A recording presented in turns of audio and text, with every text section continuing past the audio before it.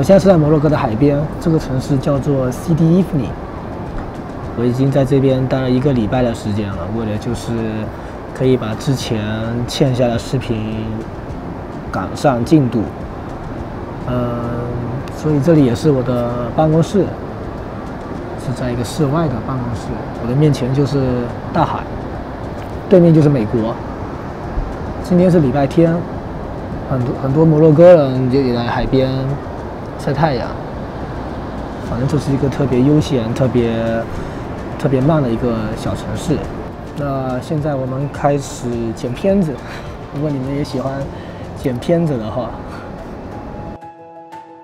从繁忙的丹吉尔来到阿兹罗附近僻静的森林，因为难得找到这样没人打扰的露营地，所以就多待了一天之后继续上路。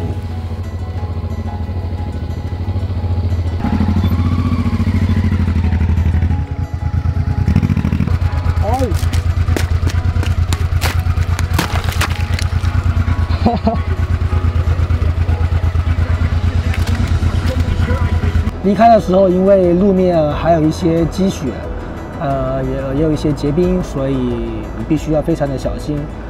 去年在爱尔兰的时候，就是因为路面结冰而发生过一些一次、两次啊交通事故。这一带据说是摩洛哥的小瑞士，的确，这边的风景确实跟瑞士还挺像的。在这边露营了两天，呃，因为风景实在是太好了，所以就多待了两天。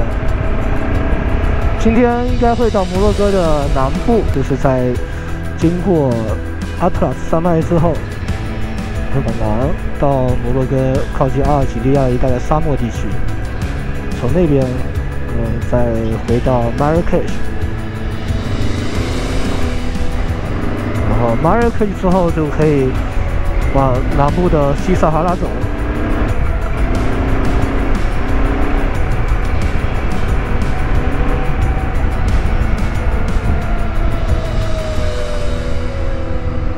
走弯道还挺急的。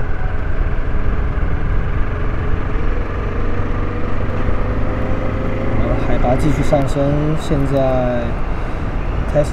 进入阿特拉斯山脉，现在进了山之后，感觉又没有之前那么热。呃，海拔现在看看上升到了多少？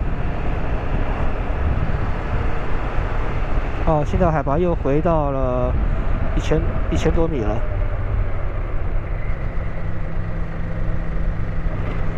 前两天露营的地方的海拔是一千八百米。今天早上的温度是零下二度，海拔不断的在上升。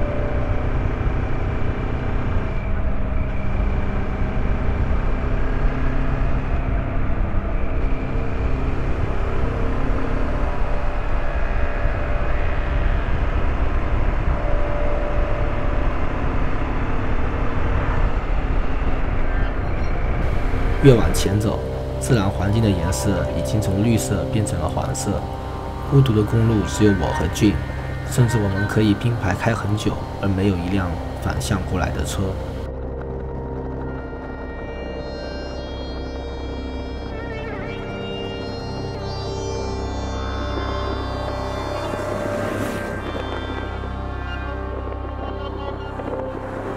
现在在海拔一千八百多米的。阿克拉山脉上，这边的地形地貌完全完全跟之前是不一样的。我和俊在这里。How doing? Perfect, man. Cool weather. Sun is out. 在途中，不仅自然环境发生了变化，文化多样性也非常明显。与摩洛哥北部受西班牙和法国文化的影响不同，在这里时不时地经过许多没有任何殖民色彩的波波尔村庄，感觉就像穿越了一样。随着进入阿特拉斯山脉深处，路况也开始变得更为复杂。我们在贫瘠的山上找了家伯伯人开的旅馆过夜，两个人八十人民币，包晚饭和早饭。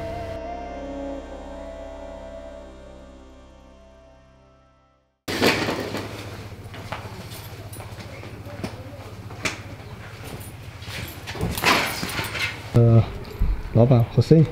Yes. Ataman. Ronin. Tea. Tea. Jim. A bit of chai. Just a good one for you. How did sleep? How to sleep last night, Jim? Uh, well, it's very cold. she stole all the blankets, and I had to sleep in my sweater. Yeah, you took a pillow first. Uh, okay, I got your blanket. Yeah, it was not a good deal in the end. I, two pillows or two blankets. Huh? 好的，我们继续回到路上。和之前的摩洛哥小瑞士阿兹罗相比，这里就像当年穿越中亚时走的帕米尔高原一样贫瘠，甚至连颜色都是一样的。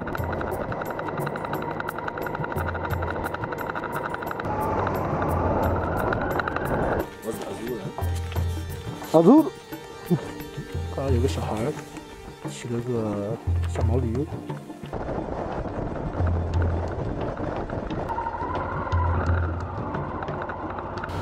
不过这段一百公里不到的路段，半天就过去了。之后随着海拔的下降，沿着峡谷穿越出阿特拉斯山脉。所以今天的目的地是一定要到低海拔的地区，